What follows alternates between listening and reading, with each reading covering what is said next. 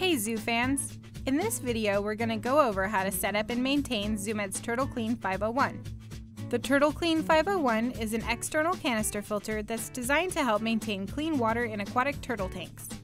This filter combines mechanical, chemical, and biological filtration to efficiently clean up to 10 gallons of water. Before starting, review the included instructions to make sure all of the parts of the filter are included. Once everything is accounted for, you can begin setting up the filter. Begin by mounting the screw nuts onto the filter head and attaching the suction cup clips to the suction cups. To apply the suction cups to the clips, simply press and twist. Now we will put together the filter's water intake unit. Find one of the two hard elbow units, attach the intake tube to the non-threaded pipe of the elbow, and screw the screw nut to the threaded pipe. The intake tube is the clear plastic tube that does not have the irrigation holes down the side. Next, snap the intake strainer closed and attach it to the opposite end of the intake tube. Lastly, add the suction cup clips to the intake tube.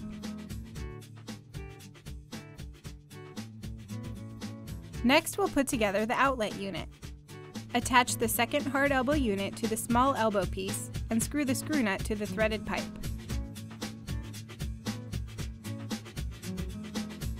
From here, you have the option of attaching the spray bar or the flow diverter. When attaching the spray bar, add the two suction cup clips and plug the opposite end of the tube.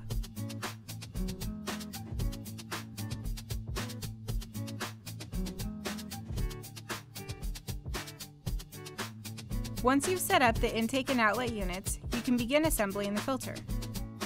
Start by attaching the four rubber feet to the bottom of the filter.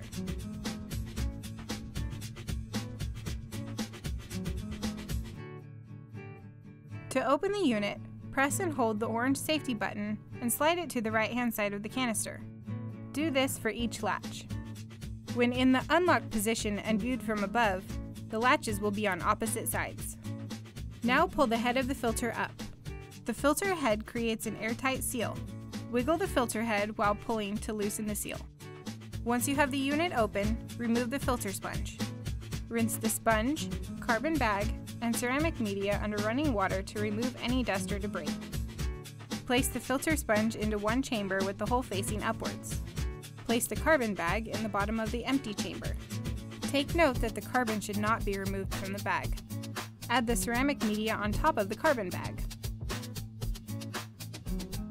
Lastly, make sure the intake strainer is attached correctly on the impeller cover and that the air vent tube in the filter head is pointed upwards. Fit the filter head back onto the unit, making sure the fill cap is over the chamber with the ceramic media. Secure the latches on the sides of the canister, and your filter should now be ready to install. For installation, situate the intake and outlet units the way you want them in your tank. Secure the suction cups to a clean, smooth surface. The intake strainer should be completely submerged in water. Place the canister on a flat surface near the tank and attach the two clear rubber hoses.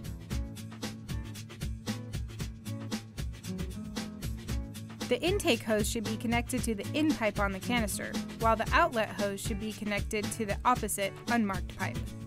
Once the hoses are in place, tighten down the screw nuts on the end of each hose.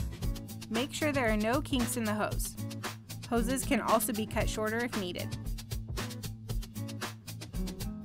Now that the filter is ready, remove the fill cap on the top of the filter and fill the canister with dechlorinated water until it's almost overflowing. Replace the cap and make sure it's secure. Now plug the filter in and it should instantly turn on. For safety reasons, it's recommended to have a drip loop. Do this by letting part of the filter's cord hang below the power outlet. Your filter is now ready and operational. This filter should be cleaned at least once per month. For maintenance purposes, always disconnect any electrical appliances used with or around the tank. Loosen the screw nuts and disconnect the hoses from the intake and outlet units to avoid siphoning. For regular cleaning, take the filter head off and remove the sponge and carbon. Clean the sponge under running water to remove as much debris as possible. Rinse the ceramic media in dechlorinated water and replace the carbon bag every 3 to 4 weeks. From time to time, you'll want to remove and clean the filter strainer and impeller cover. To access the impeller, gently pull the impeller housing off and pull up on the impeller. Clean both the impeller and the impeller chamber. Once finished, return all the parts to their appropriate positions and make sure each one is fastened correctly. If they aren't appropriately fastened, the filter may not operate.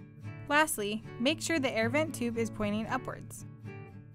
Lock the filter head back onto the canister and attach the hoses to the intake and outlet units. Be sure that the intake tube is attached to the side that says in.